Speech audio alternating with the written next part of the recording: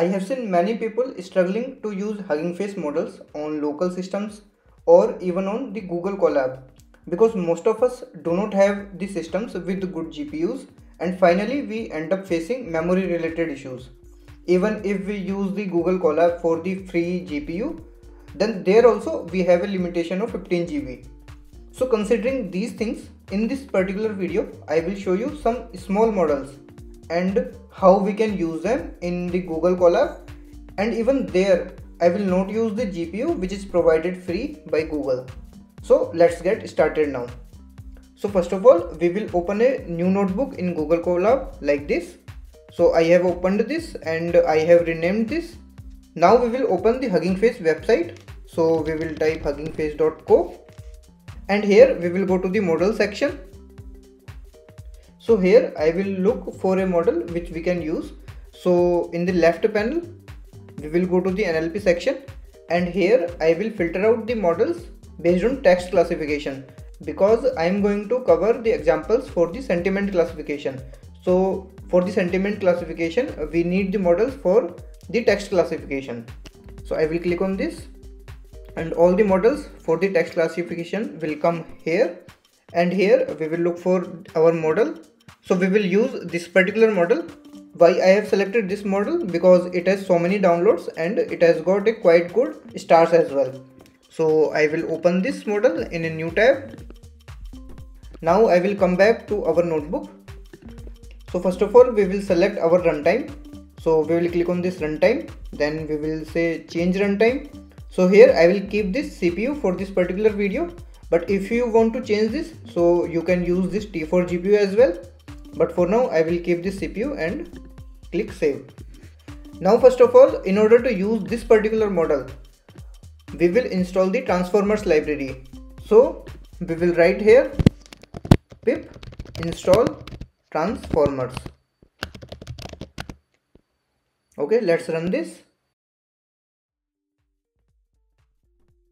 Okay so this is successfully installed. Now from this transformers we will import the pipeline method. So we will say from transformers import pipeline. Okay let's run this as well. Okay so this is also completed. Now we will call this pipeline method. So we will say classifier equals to pipeline. And here we will say text classification. So this is our task. So how can we know the exact task name? So for that we have this particular web page uh, which is provided by Hugging Face. So here all the tasks are present. So from here we can use our relevant task. So we are currently using this text classification and here also we can see this is alias for sentiment analysis so that's why for sentiment analysis use case i am using this text classification and i have filtered the models based on text classification here.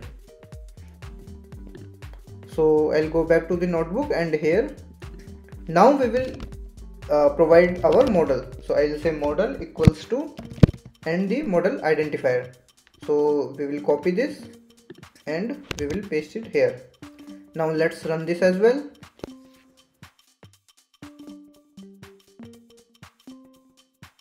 okay so this is also executed successfully. Now we will evaluate our prompt using this classifier. So we will say classifier and inside this we will provide our prompt.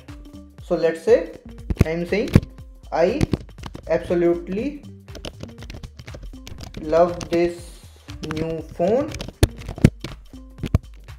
The camera quality is amazing amazing. Okay? So let's now run this. So we have got the output which is positive and the score is 99.99% so which is correct. Let's try one another prompt. So I'll copy this and I will say one more code. And here I will replace this. And I will say this movie was so boring. I almost fell asleep. Okay let's run this as well. So this has negative sentiment and score is again approx 99.99% so till now it is all good. So currently we are just uh, putting our prompt into this classifier and we are evaluating this. But let's say we want to create some UI application out of this. So we want to convert this into a UI application. And for that we will use Gradio. So first of all we will install Gradio. And for that we will write pip install Gradio. Let's run this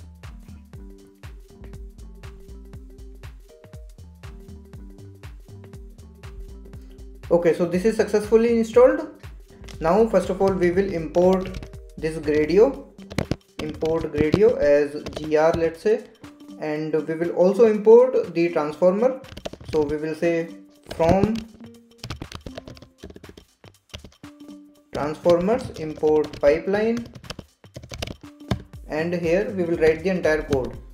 So so first of all we will define one method which will be uh, let's say the predict sentiment. Okay. And uh, we will take some prompt. And in the output we will say we will return some. Uh, okay so we will define the classifier as well. So first let's define the classifier. So classifier will be same. So let's copy that so this was our classifier.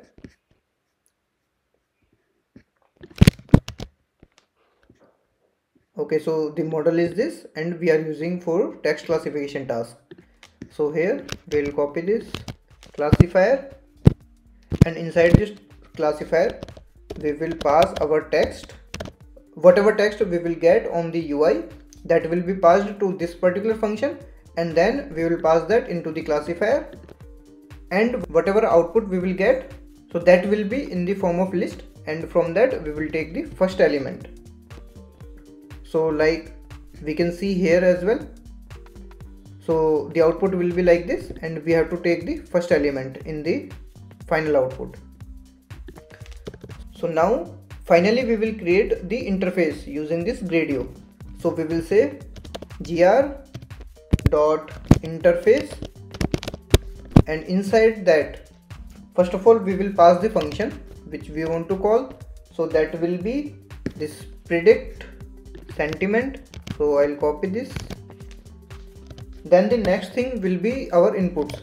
So I'll say inputs equals to and that will be in the text form. Then there will be outputs. So those also will be in the text form so for now we are keeping this in the text form and later on we will change this when we will improve this particular code. And at last we will launch this. Okay so let's run this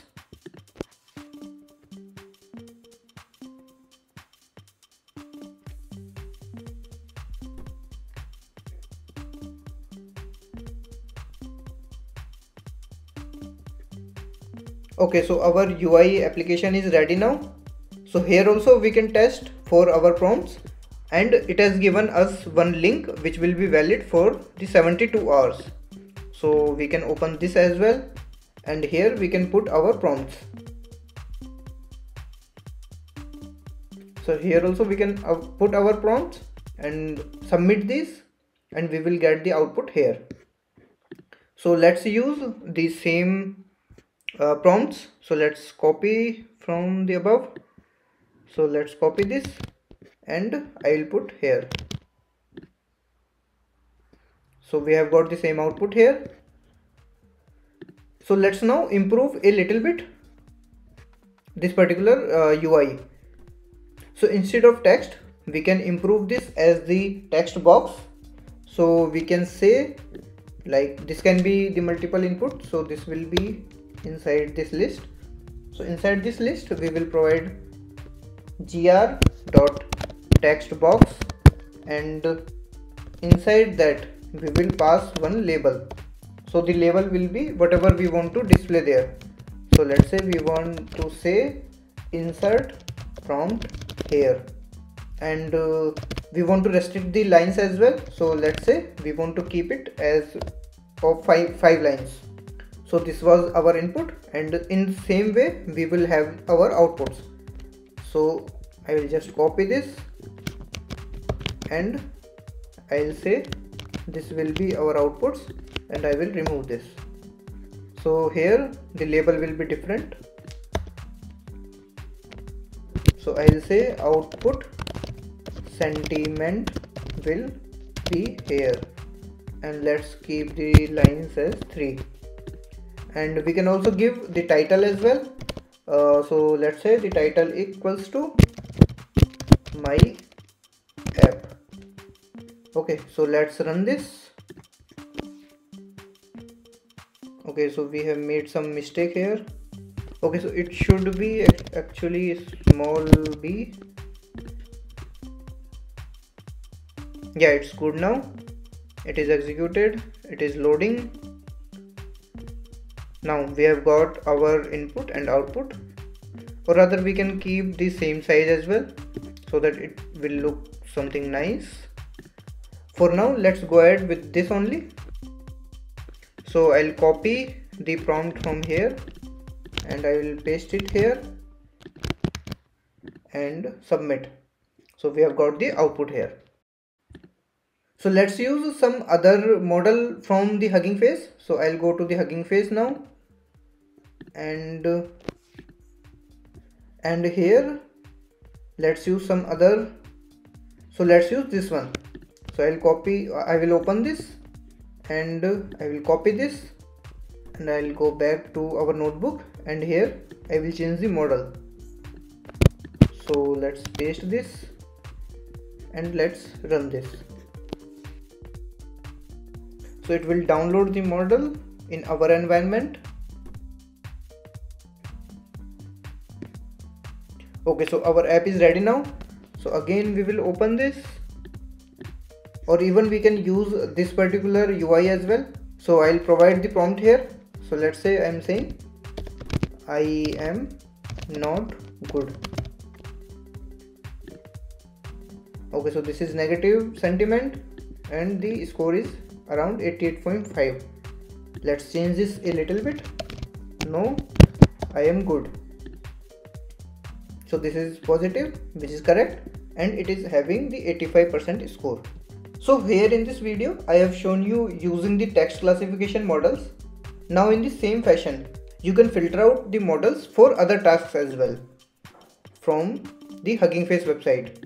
So from here you can filter out some for some other tasks like for the question answering or the summarization or text generation. And you can try out these models. And after that let me know if you face any issues or you need a separate videos for these models and these use cases. Now do hit the like button if this video was useful to you. And to learn new things related to the latest technology do subscribe the channel